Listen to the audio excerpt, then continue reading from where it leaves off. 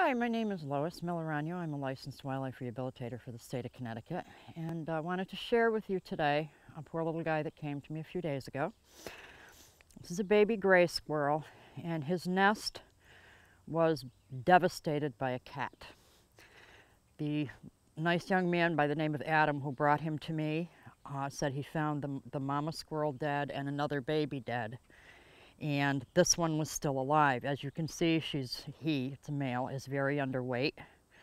Um, so not sure how long he was on his own, but the things I wanted to point out to you today, this poor little one, he's missing part of his tail here, he's missing a toe here, and he's missing a toe there, and he's got a little bit of a bite right here, which is actually beginning to infect. I've started him on an antibiotic.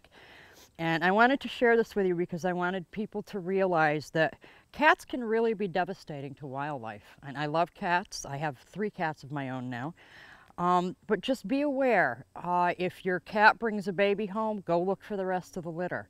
If you know where there's a nest of robins or a nest of, of squirrels or a nest of whatever, do your best to keep the cat away from it. Now, some people will put bells on their cat. That helps sometimes, but not always, but it, it's a start. You can train your cat to be an indoor cat.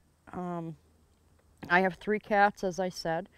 Uh, the two females will not go outside. The male likes to go outside now and then, but we try to discourage that. Um, there is something called kitty grass you can buy. I know grass cats like to chew on greens.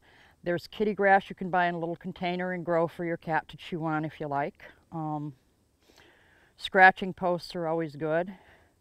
If you have someone handy, you can actually set up something that looks kind of like a little tree for your cat to climb on.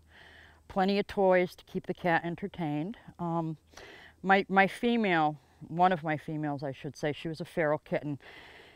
And she wanted to go outside and I came up with the idea if it was raining I would let her go out and she would turn around and immediately come right back in and now I can leave the door wide open. She has no interest